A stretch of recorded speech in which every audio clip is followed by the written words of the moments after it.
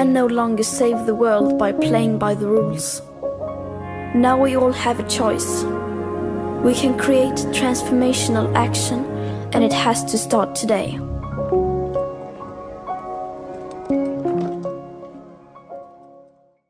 In the beginning, I wanted to um, just acknowledge everyone who's contributed to this amazing exhibition. And it's been uh, it's presented and organized by Nirvana Creative Production House. All the digital experiences that you see uh, have been made by SharpEnd. Uh, it's the whole exhibition is kindly host hosted by GF Smith, and uh, the branding and the font has been uh, made by Alistair Gibbs. Um, so just um, a bit, a bit of catch up what's happening tonight. I'm going to uh, start by giving the context to the entire exhibition and give you a brief background, like how we see colors, materials, and finishes. And then uh, just Sian will be, be will be talking uh, today um, about uh, plastic-free certification, plastic-free materials, and then Gary will discuss uh, and demystify compostable plastics, and then uh, Julian will discuss sustainable material strategies. So, without further ado, um, my name is uh, Katie, uh, and I work for Nirvana Creative Production House.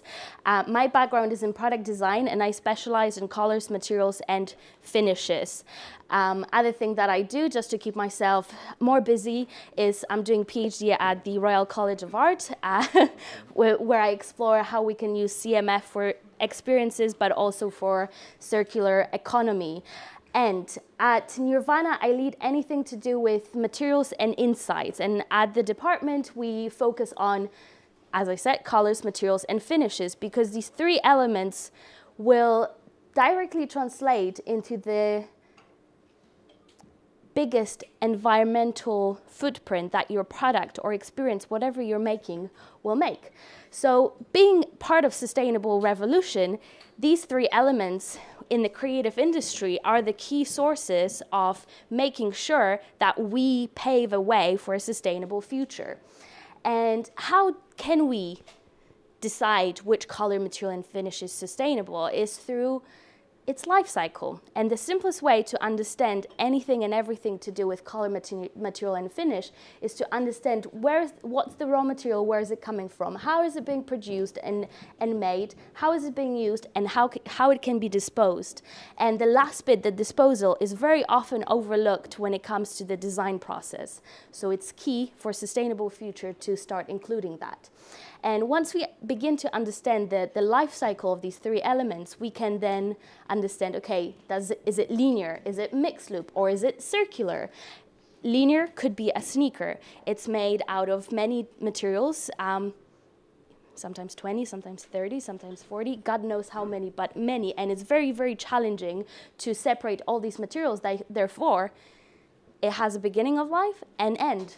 Um, mixed loop material is best exemplified by, for instance, a plastic bottle, which can become a fabric insulation and then have energy, go into energy recovery. True circular materials are, for instance, glass or aluminium, because these materials don't lose any of their material properties or their material integrity during the recycling process. Therefore, they can be remade and remade into the same thing all over again. So understanding these basic bits of information leads us to understanding the key terminology that is floating out there these days and it's floating and it's floating and there's plenty of it. And not many people actually understand what it all means. So for you as a designer um, someone who works within the marketing department whatever, wherever you, you might be, be situated in the creative industry once you understand the life cycle you begin to understand what kind of story you can present and know-how in all of that is key because once you start digging, one of the things that you begin to understand is that biodegradable waste, for instance, will be banned from Scottish landfills on January 1st, 2021. So it is very important to be able to differentiate what's biodegradable, what's compostable, and what are the materials that you want to use. Um, and why do we tell stories about the colors, materials, and finishes. Simply so because humans think in stories rather than facts and figures. And the simpler the story, the better. Every person, group, and nation has its own tales and myths, and it's been based and built upon that. So we cannot create something without, which is very complex. And if it's complex, let's break it down and create something that's a positive, sustainable story. Because these days, you know, lots of negative, um, lots of negative articles about plastics and, and sustainability and packaging, etc. But the fact is, we can all turn that into a positive, and therefore we can create action. If we're overwhelmed with negative information, we do not know how to act. So once we begin to understand everything when it comes to life cycle terminology, etc., we can begin to build stories of recycle, reuse, and reduce. We can recycle for properties, reuse for function, reduce energy, weight, water, etc. And some of the companies are beginning to pioneer in that. Great example is L'Oreal, who's using their pre-consumer facing packaging to make their own paper that then is turned into their premium packaging um, in the retail spaces. Loop reusing the, the, the, the re mastering in refillable packaging of everyday goods, reduce, reducing the, the, the amount of plastics that, that being used and creating paper-based outer shell packaging. Um, mastering in doing uh, a sneaker out of monomaterial rather than 20 or 30 different materials that I've initially discussed. Uh, reusing waste into something that in, in new products that it's never been used in before. Reducing amount of water. Water is the most precious resource that we have out there and it's so often being overlooked in both the media stories but also in the way how we design amount of water is very limited without scaring anyone, United Nations is saying by 2050, half of global population might not have enough drinkable water on daily basis. Therefore, it's key, and that's why, for instance, Zara is pioneering and showcasing leading the way, paving the way, how to how to reduce the amount of water in in in in, in um, making textiles on this occasion.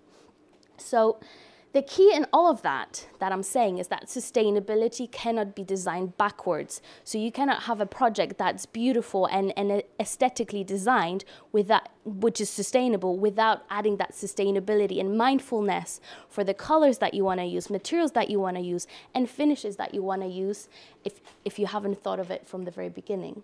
So this, that's why this exhibition is showcasing how you can transform different negative information like for instance, you know, glass using a lot of energy, using uh, being very heavy to, to carry on the tracks, etc. The milkman had it right. It's showcasing how he himself in the 70s and 80s is contradicting certain facts that were that are being used these days. Aluminium, 70% of aluminium ever made remains in use today. Amazing figure.